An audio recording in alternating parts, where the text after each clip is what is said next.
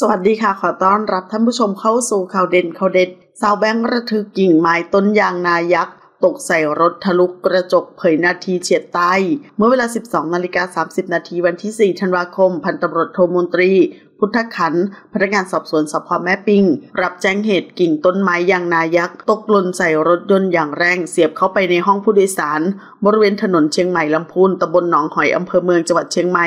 จึงรุดไปตรวจสอบพร้อมตำรวจสายตรวจ ที่เกิดเหตุพบเจ้าของรถชื่อนางสาวอัญชลีอายุ 31 ปี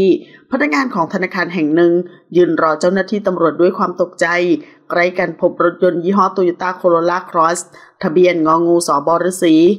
4436 เชียงใหม่ สภาพถูกกิ่งไม้ยางนายักษ์ตกเสียบเข้าไปในห้องผู้โดยสารกระจกหน้าแตก นอกจากนี้ยังมีซากกิ่งไม้แห้งของต้นยาง ตกอยู่ข้างรถจำนวนหนึ่งจากการสอบถามนางสาวอัญชลีกล่าวว่า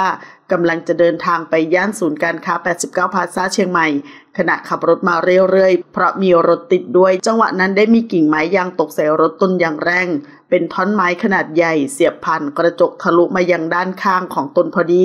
เศษกระจกรถทำให้ตนได้รับบาดเจ็บเล็กน้อยที่ข้อศอก เศษกระจกยังตกตามขาของตน โชคดีที่ตนใส่กางเกงยีนส์จึงไม่ได้เป็นอะไร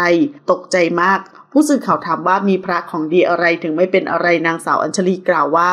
ตนพกพระติดอยู่ในกระเป๋าก็หลายองค์ รวมทั้งที่หน้ารถด้วย ก็ไม่รู้ว่าเป็นองค์ไหน แต่ก็ถือว่าโชคดีแล้วที่ไม่เป็นอะไร รถยนต์ของตนมีประกันทางบริษัทประกันก็มาดำเนินการ และพนักงานสอบสวนได้ให้ตนลงบันทึกประจำวันไว้เป็นหลักฐานในการไปเรียกค่าเยียวยา จากองค์กรต่างๆ และจากประกันนางสาวอัญชลีกล่าวอีกว่าช่วงที่เกิดเหตุมีสสพักเก้าไกล เดินทางมายังที่เกิดเหตุและได้บันทึกภาพ ได้บอกกับตนว่าจะประสานกับหน่วยงานที่เกี่ยวข้อง เพื่อหาทางช่วยเหลือตนอีกทางหนึ่งก็ต้องขอบคุณมาณที่นี้ด้วยขอขอบคุณข้อมูลจากข่าวสดขอบคุณค่ะ